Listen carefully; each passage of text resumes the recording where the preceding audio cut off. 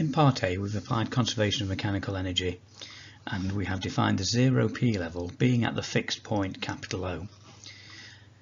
At this point there's no gravitational potential energy, there's no elastic potential energy and there's no kinetic energy since the object just reaches this point capital O and that's why we have zero on one side of the equation.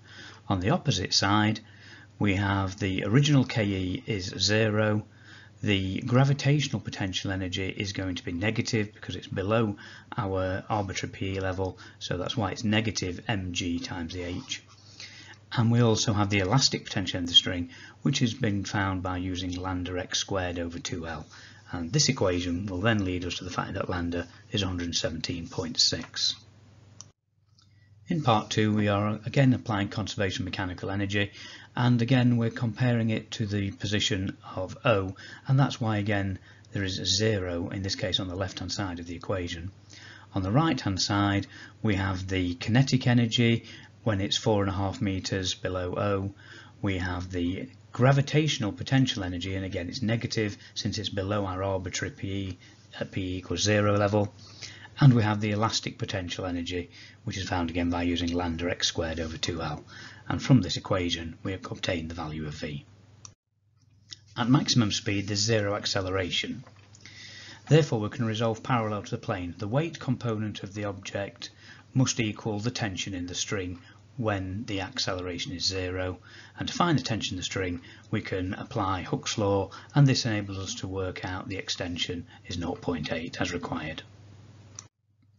In part 2 we are applying conservation mechanical energy. We're comparing the initial position to when the string has an extension of 0.8 meters, with therefore when the object is at its maximum speed. In both cases we can work out the elastic potential energy, the gravitational potential energy and the kinetic energy for the object. And in part 3 we once again apply conservation mechanical energy. If we're looking for maximum displacement, the object is instantaneously at rest and we can therefore compare again all of the energy in the initial position to the energy when we have maximum displacement. In part A we're going to use conservation mechanical energy. We can let the 0 PE level be in the initial position there's no kinetic energy and there's no elastic potential energy, hence there's no energy initially.